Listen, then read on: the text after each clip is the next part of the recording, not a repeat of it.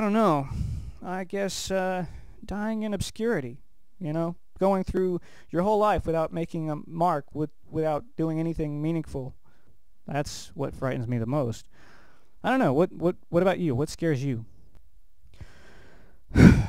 Frankenstein's, Dracula's, mummies, wolfmans, swamp monsters, zombies, creatures from the Black Lagoon, blobs, giant snakes, giant spiders, little spiders, swarms of bees, swarms of birds, devils, demons, Jasons, Freddy Kruegers, cut off hands, cut off heads, eyeballs sitting on a table by themselves, chainsaw guys, mean clown.